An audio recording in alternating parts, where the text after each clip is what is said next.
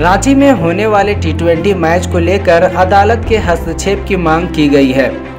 दरअसल, एक व्यक्ति ने अधिवक्ता के माध्यम से अदालत से यह प्रार्थना किया है कि रांची में होने वाला मैच सरकार के द्वारा पूर्व घोषित एसओपी का सरासर उल्लंघन है।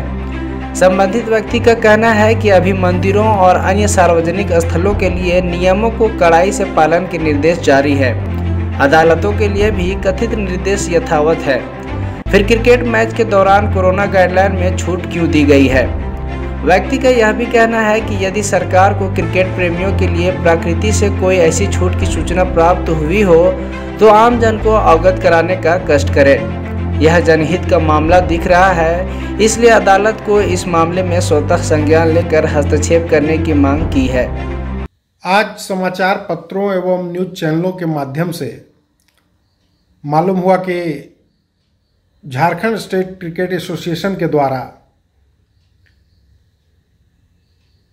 2020 मैच जो आयोजित की जा रही है क्रिकेट मैच, उसमें चालीस हज़ार दर्शकों के साथ, फुल स्ट्रेंथ के साथ स्टेडियम में प्रवेश की अनुमति दी गई है। साथ ही उसमें अंदर खाने पीने की जो सामग्री है, उसकी भी बिक्री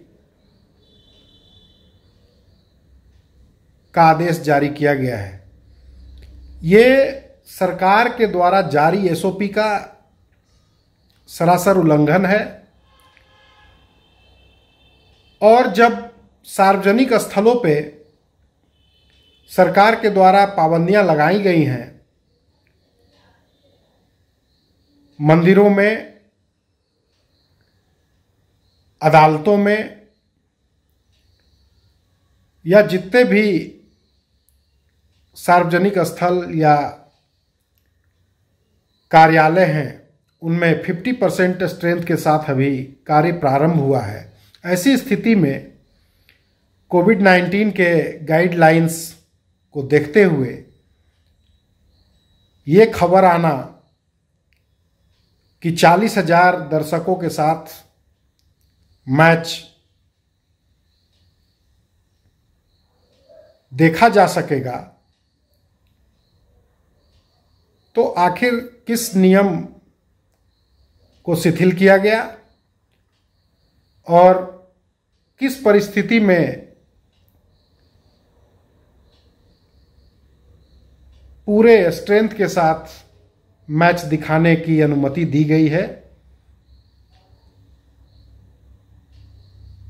इस पर सरकार को पुनर्विचार करना चाहिए। नहीं तो इस मामले में अदालत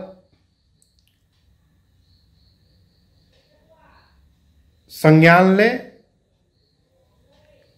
अन्यथा यह जनहित का मामला है, ऐसी स्थिति में जनहित याचिका दाखिल की जा सकेगी।